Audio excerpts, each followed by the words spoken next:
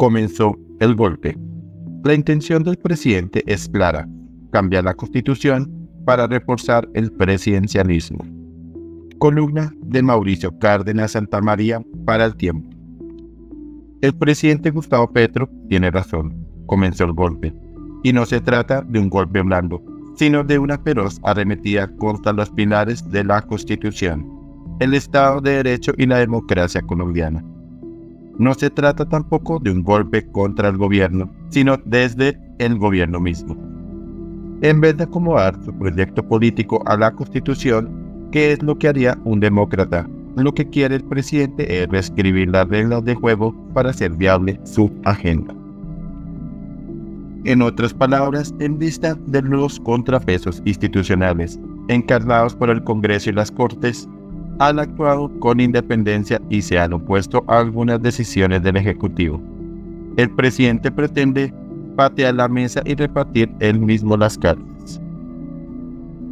Con cada vez mayor frecuencia, el mandatario les pide a sus bases movilizarse frente a las decisiones institucionales que les son contrarias. Eso también es antidemocrático, la gente versus la gente no hace más que debilitar nuestra democracia y la importancia del voto popular. El presidente Petro está demostrando que considera que el haber ganado las elecciones es argumento suficiente para imponer su agenda, como si ganar una elección fuese equivalente a un cheque en blanco para tomar el control total del Estado. Desde esa perspectiva, la intención del presidente es clara. Cambia la constitución para reforzar el presidencialismo, acumular más poder y tener más atribuciones, incluyendo la posibilidad de gobernar bajo estados de sección y reformar por decreto.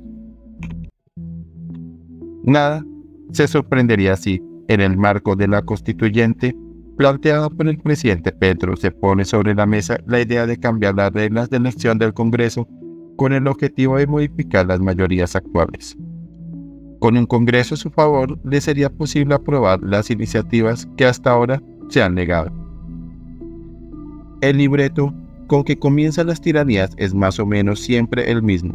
Inventar un enemigo, enfrentar a los ciudadanos entre sí, debilitar las instituciones y cambiar las reglas del juego.